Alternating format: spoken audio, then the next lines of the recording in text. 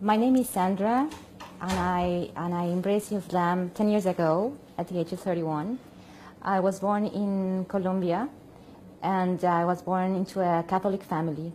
Since a very young age, I was very involved in the church, and especially in the choirs. At the age of six, I started singing in all the Christmas events and Easter events, and I was pretty much into it. And uh, that's how my life developed. I was very close to the church, especially anything that had to be with music, I was into it. I joined a choir, a children choir, and I was being always um, active in the church. So when I finished my high school, I, I realized the love I had for music, and I wanted to move forward to it. And I knew I had a very, very strong potential as a singer. I had been done a lot of uh, like um, solo singing in classical repertoire. I was um, very much involved in, in a lot of Colombian level musical performances. So I joined the musical program to develop myself as an opera singer.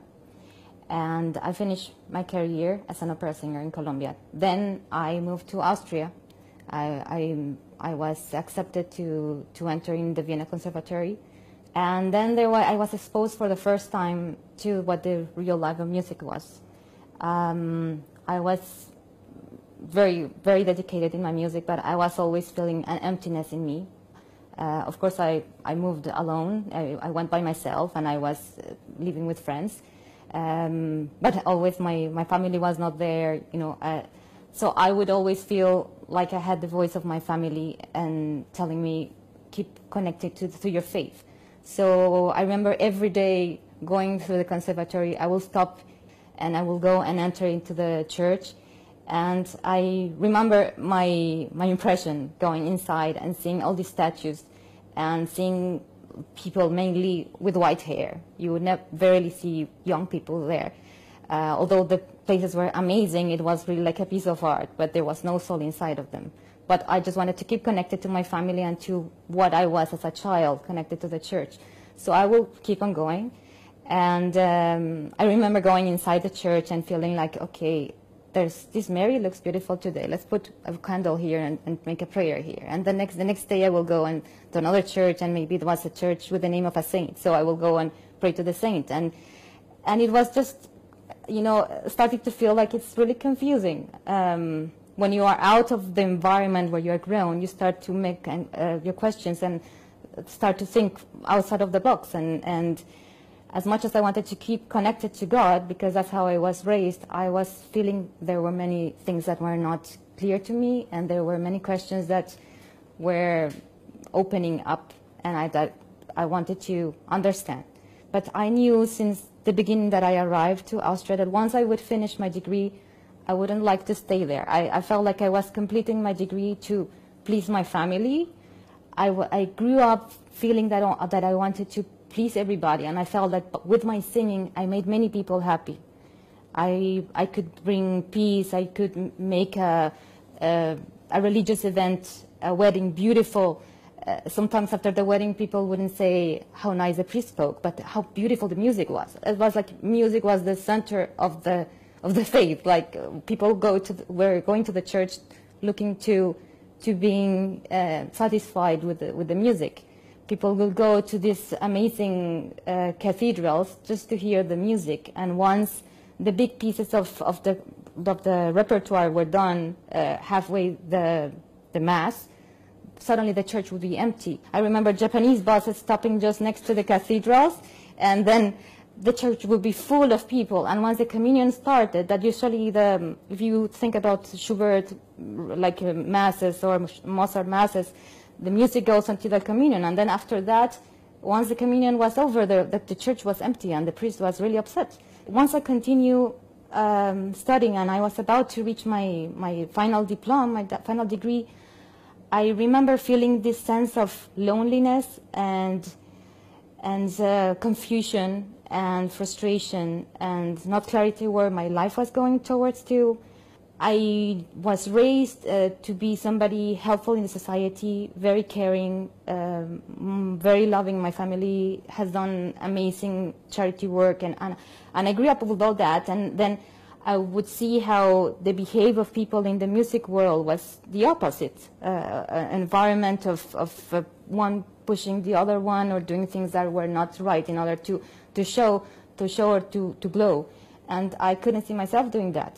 It was very difficult because I knew there was a big expectation behind what I was doing. So I remember very well, maybe two months before finishing my degree, and and going like it was late and I remember this prayer I did. And that day I, I, I felt for the first time I'm not praying to to a saint or to the Virgin or to Jesus. I, I felt I was praying with the real truly God and I was saying please guide me. I'm completely lost. I don't know what I should do with my life. So please please guide me. And it was a very truly do a prayer for guidance. And I and had the opportunity at that moment either to to go to Spain and join an aunt or to apply to, to move as an immigrant to Canada. I applied and it was amazing. After three months, just at the moment of my degree being uh, finished, I got the acceptance to, to move to Canada. So I felt this is a, this is a clear sign. I should, I should go there. Canada is an amazing place because it's very multicultural. I had the opportunity to, to see people from many places that I never had the opportunity before in, in my country or in Austria just studying. And I, I got in touch with Muslims and uh, at, at, an event, a multicultural event. And there they start asking me about my faith. I felt um, I have to be strong and, and I know I have my doubts, but this is who I am. So I would you know, try to repeat what I was raised up having to say. But then, of course, as a diplomatic way, if somebody had asked me about my religion, I had to ask back. So it was the first time I was encountering Muslims, and so I, I was asking, okay, so what do you believe in? I didn't know anything about Islam, and I was amazed to know that, that in Islam, Maryam, the Virgin Mary in, in Catholicism, was a very important woman, one of the fourth most important women in Islam and that Jesus, Isa, was a very important prophet, and that they had the same prophets that uh, I, I, grew up uh, knowing in, in, the, in the Christianity. So I, I didn't know that. So I was really mesmerized. I felt like we are so close. I didn't know. I just heard always from the news, you know, these people are doing things that are wrong. So I started to, to want to know more about Islam. I remember going to the priest in the university and, and uh, asking him, what do you think about these questions I have? And I, I felt there was no answer. And, and then if I would go to Islam, I would see like it's so clear and pure and, and uh, everything is there. It's, it's so close, but it completely started to answer all my questions. So Ramadan was coming soon. Very blessed to be invited for, to, to a mosque for an iftar, and it was going to be Taraweeh after. And since the communities are small, people will come for the iftar, and then they will stay until the prayer of Tarawih. So I remember going for the iftar, and I, remember how, how these ladies who had been fasting for a whole day would give me food first, and I, I was like very impressed how people were not just jumping, they were doing a prayer before, before eating. And then I saw for the first time the prayer of Islam, and it was the most beautiful thing I, I had encountered until the moment, to see how people were all standing in lines and doing the same movements at the same time. And, and then to hear the Quran for the first time, for me was like a kinesthetic experience. I remember feeling like I, I was embraced and uh, it, it, was something really out of this world. I, I felt I need to listen more of this and I need to know more about this religion because I, I really, really love how, how it looks and how it feels. It was for me uh, that really the spirituality was there uh, and I wanted more of it. And then I had the opportunity to, to compare both. And for me was clear that what really the connection with the, with the only God was, was in this, in this Islam. So once I came back from Colombia, I, I, did, I had to do my Shahada. That was for me, it was me very clear. It took, it took more or less like, like a year or like less than a year. But then it was just the beginning. You know, you, you need to learn so many steps and you need to give yourself time And um, of course, I, I didn't tell my family right away. Um, I, I had I start chatting with them, especially with my brother who was present in Canada, then my parents over the phone. I would just throw questions. And then, of course, they, they start saying that there was some, something happening with me because I was making questions that I didn't do. And uh, see, Jesus, you, did you know that Jesus is, is so important in, in Islam, but he's a prophet? Did you, did, did you know that, that God doesn't have to die to, to forgive us? It's everybody's responsibility to perform in this life to, to gain uh, heaven. It's not granted that because somebody does something for you, that means that you're going to go to heaven. Like it's really up to each one. So they started to see that I was questioning myself, and in my path I was questioning them. So, but I just it took me a year to to tell them about uh, my conversion, and once I told them, which for them was almost like uh, you know at that point they my brother already knew because he he would see me and I was you know going to the Islamic centers and meeting with people, and so he he saw obviously my change, and then I told them they they kind of uh, accepted, but I felt I need to do something, even for the people in my environment, to see that I'm truly meaning my, my conversion, my, my new faith. I have to put a hijab on. I, I remember telling a friend, oh, next Ramadan, I will start wearing hijab. Um, and then, and then she told me, why do you have to wait until Ramadan? And, and um, I, I remember coming back home and, yes, why do I have to wait? And I started reflecting on it. And I said, very good to show that Islam was good. So it was a, like a protection of myself if I had to, if I were to do something that it was not, uh, you know, not accepted. I would remind myself, oh, I have the hijab, I need to be good. So alhamdulillah, they they accepted me, they respected me. Um, mainly with my mom and my father, I had a lot of opportunities to talk about it in detail with my brothers and sisters, it's, there's more like a, an acceptance. At the beginning of my conversion, I felt like I had to talk with everybody. I need to tell everybody. Everybody has to be Muslims. And then I realized everybody needs a time, and it's only Allah who guides. And through my behavior, I do more than through speaking out.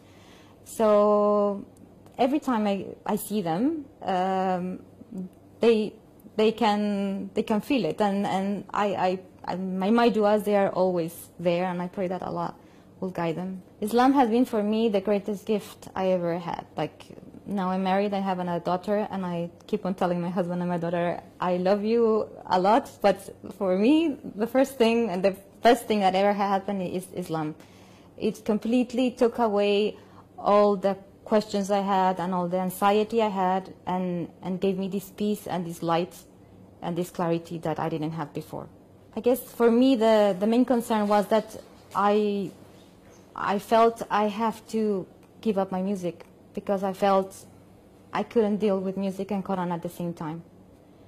So there was a big transition there, but uh, I ended up giving up uh, music, and that and I completely never missed it after that. You know, I I felt that all what the skills that I acquired through my studying alhamdulillah, I was able to, to use them to, to learn about Quran, to learn how to read Quran and uh, to memorize and to be able to, to learn the language. You and me and everybody and everything around us was born to, to submit to the, the Creator. Once you feel that you belong to Him and that you know that you're going to meet Him after you die, you should not wait until this moment comes because you never know when this moment might come. It might come tomorrow and you don't want it to be too late. And the reward of being a Muslim is so much greater than all the difficulties that you might face in your, in your transition. It is actually very, very easy if you hold yourself to, to, to Allah and He will make everything easy for you. Just put your trust there, He will make the path for you. Sincere prayer to Him from your from the deepest place in your heart. And that will bring the clarity and that will give you the strength that you need in order to make your decision.